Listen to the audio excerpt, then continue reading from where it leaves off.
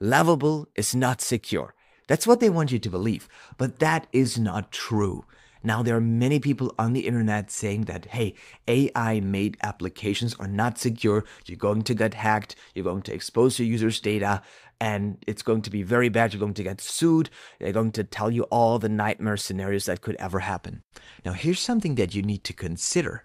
This is not new, but for the first time in history, Lovable now allows people that are non technical to actually build real applications. If we're doing a time travel and we're going back a couple of years and look at Bubble, we see beautiful stuff. Like here are cybersecurity researchers figuring out that you can hack every Bubble application. And then here is someone leaking his entire data that they built you know, in their application built in Bubble. That was even a year ago, so it's actually pretty recent.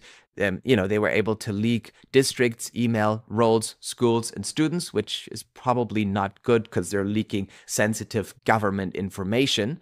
Um, and then someone else's Bubble app got shut down by a hacker, and he's demanding $500 or he will keep his bubble application down. Now, this was done a couple of years ago, but I want to mention this. This is not new. There are many non technical founders, non technical people who are building applications with no code tools um, that are not secure because they don't have the technical knowledge in building it. Now, with a no code tool, you have the problem though that you know, you have to drag and drop and set things up yourself.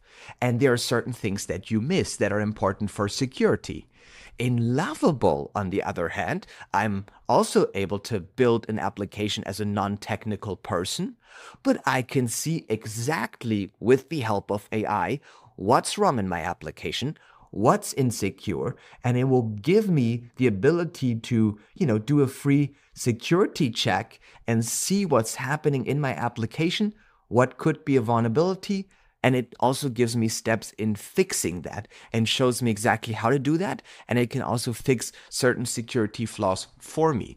So here's the thing if you compare Bubble no code tools with Lovable, Bolt, and all of them, you're going to see that actually for non-technical people who have no idea what they're doing, Lovable will actually be a more secure solution because it tells you what's wrong on your backend. Where no-code tools, they don't tell you what's wrong on your backend. They just let you drag random blocks together. They don't care if this block should be under this block to be secure. They don't tell you that, right? So using make, Zapier, putting that all together, Memberstack on top of that, or using Bubble and then connecting that with Zapier and all kinds of stuff is probably not that secure. People can just call your webhooks, use your credits. It's probably not authenticated. I could think of thousands of ways how this is not secure. Where in Lovable, my backend and my front end is in one place and I can get security warnings for everything. And if I don't know about those things, I have the ability to have a chatbot who's trained on my code base to ask the right questions. So if you're building in Lovable, consider clicking on the security tab and learning a little bit about your application and seeing what's wrong in there. It also shows you this every time you publish. You can also ask any security related questions here in the chat, which I would always suggest. Get stuff explained in layman's terms from the AI to you. You know, if you don't have row level security set up in Lovable, or if you don't have row level security set up in Bubble or in whatever else no code tool that sets up with your Supabase, it's going to be the same thing.